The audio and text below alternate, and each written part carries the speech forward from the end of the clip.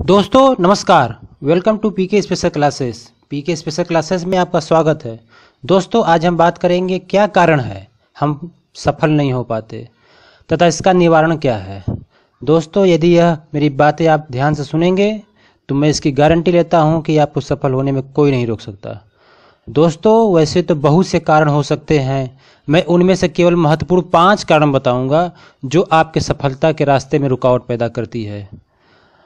आप इस पाँच कारणों को देखिए। सबसे पहला कारण है आलस, दूसरा कारण है एकाग्रता एकाग्रता की कमी, तीसरा कारण है सही रास्ते का चुनाव न करना, चौथा कारण है स्मार्ट प्रकार से पढ़ाई न करना, और पांचवा तथा लास्ट है रिज़ल्ट से भयभीत होना। दोस्तों, इसके बारे में आज हम बारी बारी से बात करेंगे।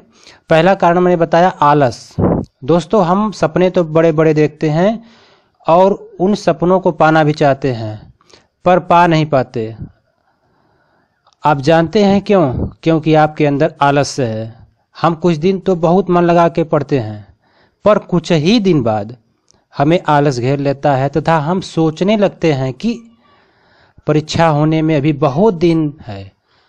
कुछ आराम कर लेते हैं। यही हमारी सबसे बड़ी कमज़ोरी है। दोस्तों, यदि आपके अंदर ऐसा है तो आप अभी आप आलस को निकाल के दूर फेंक दीजिए, वरना ये ये सफल होने में नहीं देगी तथा यह सफल होने में बाधा बनेगी। दोस्तों, दूसरा कारण है एकाग्रता की कमी।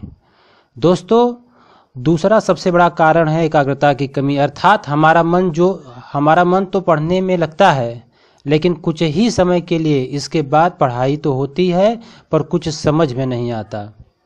दोस्तों ऐसे बहुत से परीक्षार्थी हैं जो 15-20 मिनट बहुत मन लगाकर पढ़ते हैं। इसके बाद मोबाइल या टीवी देखने लगते हैं। दोस्तों, इस प्रकार की आदत यदि आपके अंदर है तो आप इसे तुरंत निकाल फेंकिए। यदि आप पढ़ाई कर रहे हैं तो आप अपना मोबाइल, टीवी को स्विच ऑफ़ कर लें, ताकि कोई भी डिस्टरबेंस ना हो। दोस्तों, तीसरा जो कारण है, सही रास्ते का चुनाव न करना। दोस्तों, तीसरा जो सबसे बड़ा कारण मैंने बताया सही रास्ते का चुनाव न कर पाना। बहुत से परीक्षार्थी इसलिए सफल हो जाते हैं कि उस वो वो अपना जो सही रास्ता है, वो चुनाव कर लेते हैं। लेकिन बहुत से परीक्षार्थी इसलिए असफल हो जाते हैं क्योंकि वे गलत रास्ते पर चले जाते हैं। गलत रास्ते का अर्थ है कि वे अपना सिलेबस सही समझ नहीं पाते, सही ढंग से समझ नहीं पाते। अर्थात, यदि वो एसएससी की तैयारी कर रहे हैं तो वो किसी और का सिलेबस पढ़ने लगते हैं। यदि आप एसएससी की तैयारी कर रहे हैं तो आप एसएससी का सिलेबस पढ़े। यदि आप बैंक की तैयारी कर रहे हैं तो बैंक का सिलेबस पढ़े। दोस्तों, मैंने बहुत से परीक्षार्थी को देखा है कि वो एक साथ एसएससी और बैंक की तैयारी दोनों एक साथ करते हैं, जो कि गलत है। दोस्तों, ये एक प्रकार की खिचड़ी हो जाएगी जिसका परिणाम नकारात्मक हो सकता है। दोस्तों, मैं एक बार फिर से कहना चाहूँगा कि आप एक आप एक मंजिल को चुनो और उसे पाकर ही दम लो, अर्थात आप एक ही मंजिल को चुनो और उसी का सिलेबस पढ़ो। जैसे आप एस का तैयारी करना चाहते हो तो आप एस का ही सिलेबस पढ़ो और किसी को भी नहीं देखो। किसी का भी सिलेबस नहीं देखो।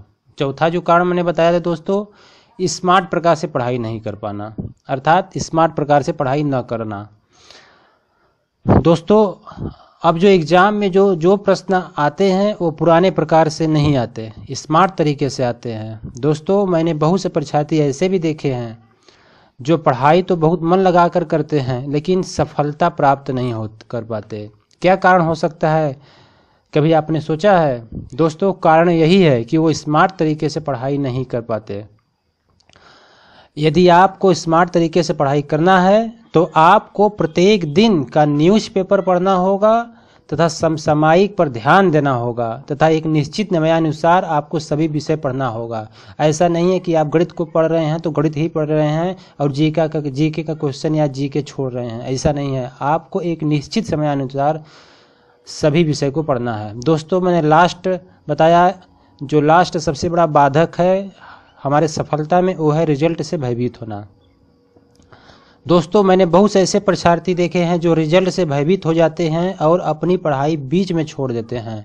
दोस्तों, यदि आप एक बार, दो बार, तीन बार या अनेकों बार असफल हो जाएँ, तब भी आप हार न मानिए।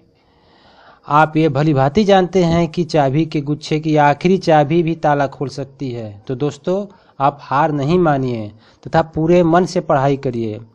यदि आप पूरे मन से पढ़ाई करेंगे तो ईश्वर आपको ज़रूर सफलता देगा। आखिरी में दोस्तों मैं यही करूँगा कि आप, मैंने जो पाँच आपको बताए, इस बाधक को आप, यदि आपके अंदर कोई भी बाधक है तो आप इसे तुरंत निकाल कर फेंक दीजिए। और मैं गारंटी लेता हूँ कि आपका, आप एक दिन सफल ज़रूर होंगे।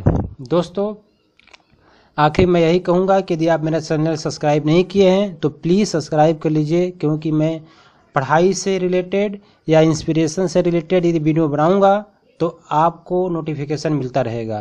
धन्यवाद।